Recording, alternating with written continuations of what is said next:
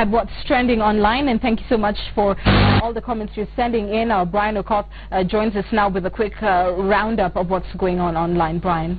Good morning, Anne. Good morning. All right, let's take a look at what's trending in the world of social media and uh, entertainment. And my my first story, or rather my top story, is a story of United Eight Wives. Yes, United Eight Wives. This is a case of uh, the grandfather of uh, a musician turned uh, radio presenter known as Gidi, saying that his grandfather actually had eight wives, and he fails to understand why men in today's society claim that one wife is very difficult and uh, some sort of there's a trouble in handling. He says that he, uh, his grandfather's eight wives used to sit together, talk together, eat together, and at no single time did he ever call Ampatanisho. Ampatanisho is a form of a reconciliation between the warring parties or other warring uh, sections. And he said that his wives were the best and they loved each other. And uh, Mr. Ajengo, that is the grandfather of, the, of uh, Gidi, died sometime in March, leaving behind uh, five wives whom he say are still close together. Wow. One wife is already difficult. How would you know, Brian? And I only answer that. All right, uh, let us move to the second one. And Raila Leo Messi, even as uh, Uwanja Stadium in Kongowea continues to uh, engage, uh, I receive a lot of uh, people coming to see it and also coming to play on the field. There is one particular video which Kenyans cannot just have uh, enough of it, and that is Odinga's dribbling skills. This came after Barcelona was clobbered, or rather was defeated by Juventus three goals to nil. And people say if only Barcelona had uh, sought Raila Odinga's dribbling skills, they would have beaten Juventus. Let us take a look at that video. You can see uh, the, right, uh, the former Right Honorable Prime Minister kicking and dribbling. Quite impressive, actually. Yes, for his age, actually, that is very impressive. And let us move on to the next story of uh, Kenyan singer Avril Nyambura last year shared publicly her HIV status results. And a section of Kenyans were not so much impressed by that particular revelation by Avril because some termed a tag that Avril used, she said that these are my results and it's all clean.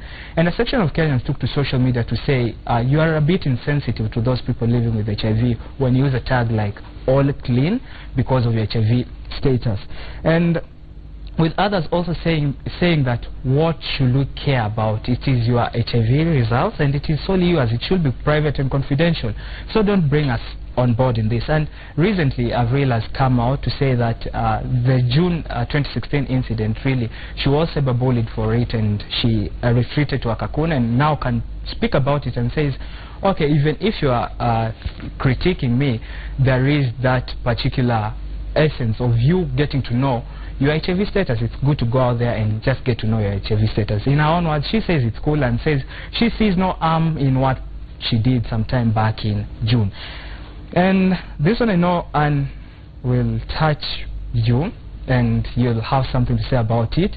This is a top American rapper known as 50 Cent uh, uh, last weekend or rather on Saturday while performing in Baltimore punched a woman. Let us take a look at that video.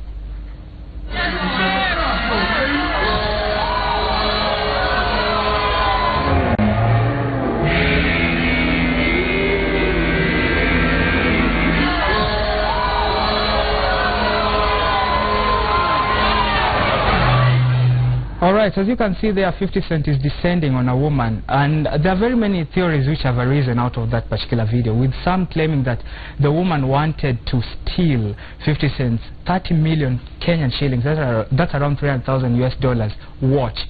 But again, uh, 50 Cent later, after realizing that he did a mistake, called the woman on stage and even performed alongside that particular woman.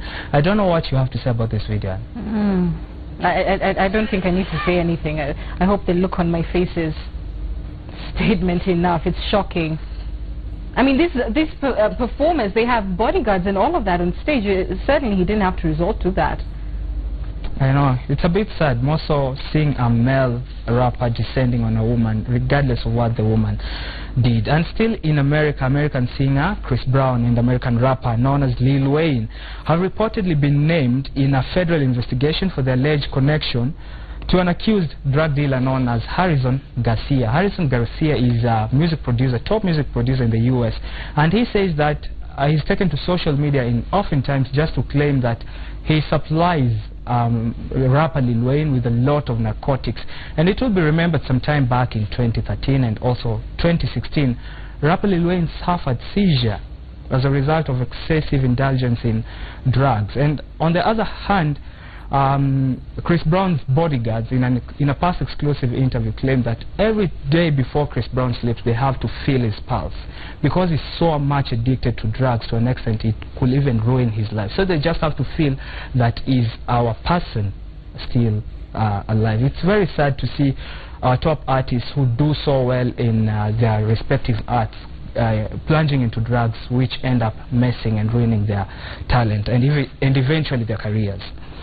And finally, this is a very interesting video of a surprising climbing kid or a climber kid. And this uh, video has since gone viral and has been shared widely, especially on what, WhatsApp platforms. And it shows us uh, a strong baby who has caused us a lot of star online after a clip of him clambering over two stair gates went viral. Oh and my word. the device that he climbed over was designed to keep him inside his bedroom. And the age of the baby, 21 months old, What? that's around one year, eight, one, one year, eight months old. Oh my and lord. The mother I can't, I can't even watch this look now. at that, look at that, Anne. Oh I know you're holding your breath. I'm holding my breath. I have two little ones. Imagine them oh, doing that. Look, Look at that. that. Oh my goodness. This this for me by the way is traumatizing. I don't even want to take a look And- at this. Oh my goodness. And like a hero, just look at him, like a hero. He lands down, like a king. Look at him. What?